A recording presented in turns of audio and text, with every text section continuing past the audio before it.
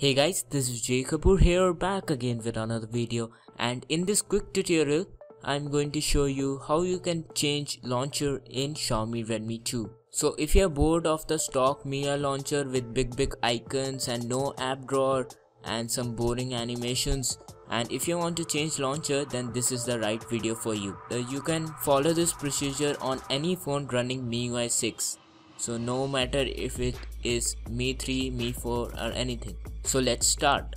Just open the Play Store and search for launcher. For this tutorial I will install Apex launcher and it's installed. Once it's installed click open. Now we have to set it as default. So click the home button again you will be in the Mia launcher.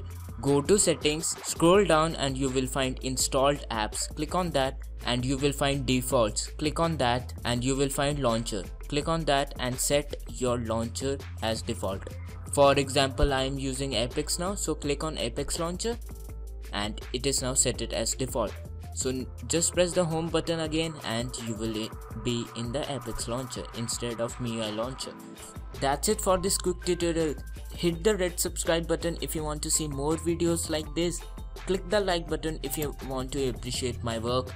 Leave a comment if you have any questions, suggestions. That's it for now. Thanks for watching. This is Jay Kapoor signing off.